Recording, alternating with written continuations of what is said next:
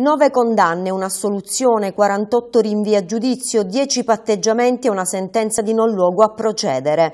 Sono queste le decisioni del giudice per le udienze preliminari del Tribunale di Agrigento Stefano Zammuto, emesse nell'ambito dei tre tronconi processuali scaturiti dalla maxi inchiesta sui falsi invalidi che ha portato nel settembre del 2014 all'operazione della polizia culminata con 14 arresti tra carcere domiciliari e altre misure cautelari minori.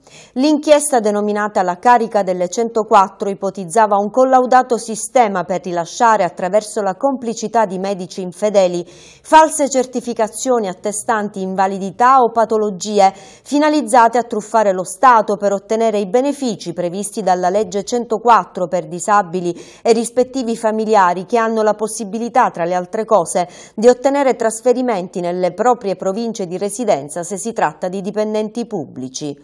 Per un solo imputato, un medico di Campobello, il GUP ha respinto la richiesta di rinvio a giudizio e disposto il non doversi procedere per non avere commesso il fatto.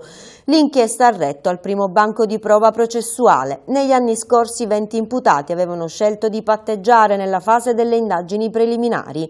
Adesso sono stati ratificati altri 10 patteggiamenti. Per i 48 imputati, tra i quali ci sono medici, falsi invalidi ed intermediari per i quali è stato deciso il rinvio a giudizio, giudizio. Il dibattimento si aprirà il 21 giugno davanti ai giudici della prima sezione penale.